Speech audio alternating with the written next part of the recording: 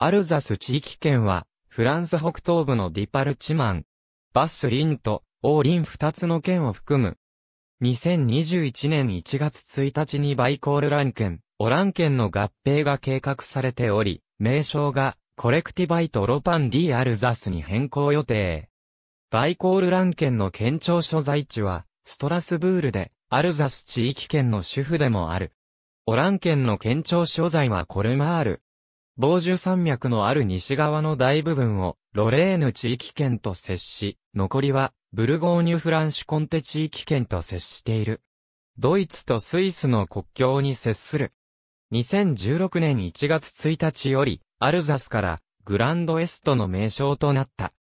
域内面積は日本の兵庫県と同じぐらい、人口は岡山県とほぼ同程度。南北に細長く展開し、北部がバイコールラン県、南部がオラン県にそれぞれ分かれる。住民の大部分は、ドイツ系のアレマン人の一派である、アルザス人で、人口の43%がドイツ語系の一方、ことである、アルザス語を使う。住民は、通史的に、中部フランク王国由来のアイデンティティを持つ。アルザスでは、ライン川の水運を利用した農業、工業がそれぞれ古代、中世から盛んである。また、アメリカやオーストラリアほどではないにせよ豊富に、鉄鉱石や石炭を産出する。アルザスの地市は、中フランクの地市を代表する。古代の晩期、東西、フランクの狭間にあった頃、アルザスは戦火に焼かれた。神聖ローマ帝国の領地となってから20世紀まで、アルザスは戦争の土に蹂躙された。その凄惨な記憶を持つ、アルザス人は、ドイツとは距離を置きつつ、フランスとも同化しないで過ごしてきた。争奪の対象アルザスは、地政学上の要衝に違いなかったが、中世のライン側というのは、地元の平野全体で、ぐねぐねと曲がり、また枝分かれして、中州や沼を作っていた。この不衛生な環境が19世紀の開発で、改善されるまで風土病のマラリアを流行らせた。第二次世界大戦終結以来フランス領である。デグザなどのドイツ系企業施設が立地したこともあり、戦後は厳しいフランス同化政策が取られた。多くの住民はフランス語とアルザス語のバイリンガルだが、若年層ほどフランス語を多用する。近年になって、フランス政府は同化政策を改めたが、フランス語しか話せない若者も少なくないので、今後の教育方針をめぐる議論は続いている。ストラスブールは、欧州統合の基地として、中央政府や直近のルクセンブルクと連携している。アルザス通史の著作は地元においてすら希少である。およそ、アルザス市の公的な記録は、欧州統合に水を差さないような形をとっている。フランス人の表したものは、神聖ローマ帝国の時代がまるでなかったかのようにし、フランス革命、ナポレオン及び各世界大戦でのアルザス解放に紙面を割いている。ドイツ人の表したものは、不仏戦争からナチスドイツの時代を対して説明しないで、神聖ローマ統治下の華やかなアルザスを積極的に描写している。アルザス人が表したものは、ローマ帝国とフランク王国の知性を踏まえて、神聖ローマ統治下の映画を西欧全体の成果とみなすが、近現代史を論拠とするドイツ非難と、フランス用語に傾いている。アドルフ・ティエールが、不仏戦争敗退後に、アルザスを講和の具としたことや、ナチスドイツが侵攻してきた時ストラスブールを、フランス軍が、無人状態で放棄したことなどには言及していない。